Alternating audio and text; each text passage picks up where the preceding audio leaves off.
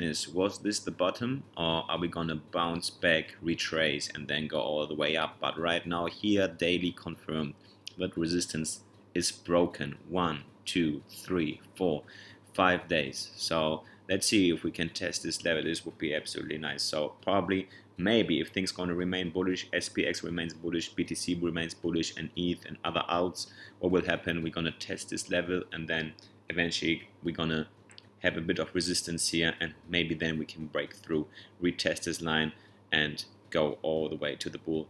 But yeah, who knows, anything could happen in crypto land. So let's go into the traditional SPX 500. There you go. What is going on here on the chart? Still the golden cross, the 50 moving average nicely did that and we above the trend line still. So we could actually yeah drop all the way and still remain bullish and create here higher lows.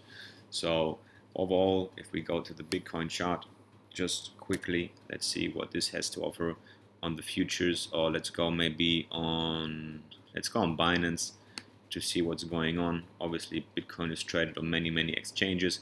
You got the golden cross here as well. Maybe we retest this level here. But yeah, key to understand is that it has to break this level here, like 26k or whatsoever. And even, yeah, this level here is very important, like 25k to break through, confirmed on a daily.